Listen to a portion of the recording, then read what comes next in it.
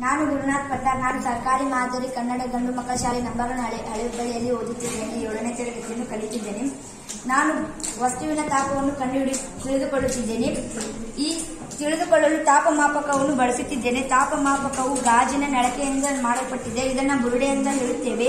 ಬುರುಡೆಯಲ್ಲಿ ಪಾದರಸವನ್ನು ಹಾಕಿರುತ್ತಾರೆ. ಅದರ ಒಳಗೆ ಮತ್ತೊಂದು ನಳಿಕೆಯನ್ನು ಹಾಕಿರುತ್ತಾರೆ. ಪಾದರಸವು ಕಾಣಬೇಕೆಂದು ಸ್ವಲ್ಪ ಬಣ್ಣವನ್ನು ಮಿಕ್ಸ್ ಮಾಡಿ ಕೆಂಪು ಕಲರ್ ಆಗಿದೆ. ಈಗಿನ ಈಗಿನ ಉಷ್ಣತೆ ಇಪ್ಪತ್ತೆಂಟು ಡಿಗ್ರಿ ಸೆಲ್ಸಿಯಸ್ ಆಗಿದೆ.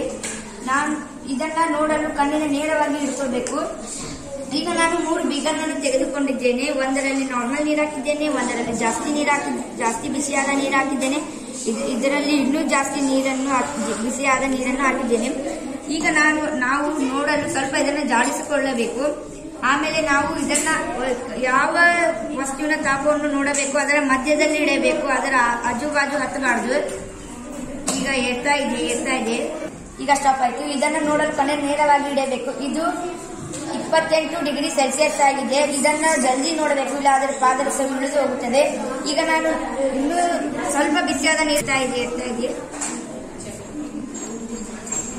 ಸ್ಟಾಪ್ ಆಯ್ತು.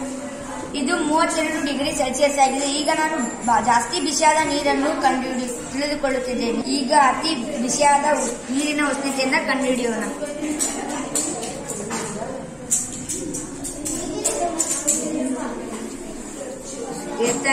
ಹಿಡಿಯೋಣ ಡಿಗ್ರಿ ಸೆಲ್ಸಿಯಸ್ ಆಗಿದೆ.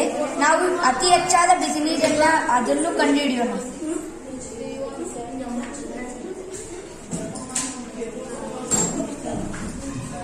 ಏರ್ತಾ ಇದೆ ಇರ್ತಾ ಇದೆ. ಸ್ಟಾಪ್ ಆಯ್ತು. ಇದು ನಲವತ್ತೆಂಟು ಡಿಗ್ರಿ ಸೆಲ್ಸಿಯಸ್ ಆಗಿದೆ.